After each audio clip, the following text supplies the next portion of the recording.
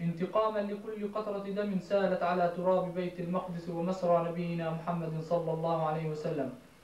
انتقاما لأبناء فلسطين ونسائها وشيوخها وأطفالها. انتقاما لإيمان حجه التي هزت قلبي وكياني ووجداني.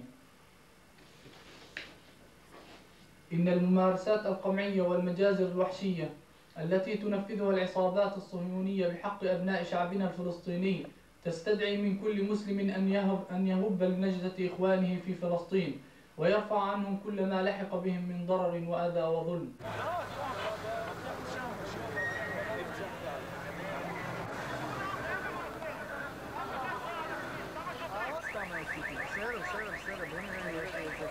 חבר'ה, בבקשה, תלכו בבקשה אחורה גם אתם.